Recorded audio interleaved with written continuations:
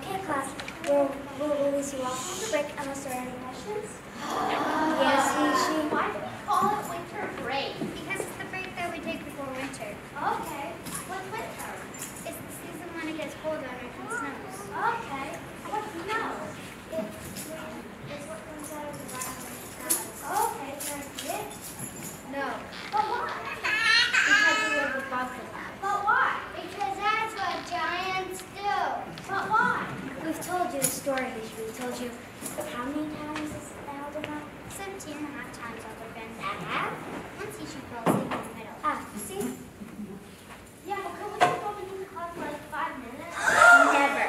But why? Enough. There's a reason why the only way down to Earth is often that safe. And I'm the only one with the key to that safe because I think we're going to have to make it 18 and a half times.